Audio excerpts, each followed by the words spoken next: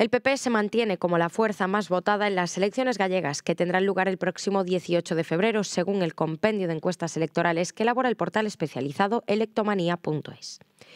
obtendría el 46,2% de los votos y aventajaría de forma clara al resto de partidos que conseguirán representación parlamentaria, que serían Benega y PSOE, mientras que Sumar, Vox y Democracia Orensana se quedarían fuera del Parlamento de Santiago de Compostela.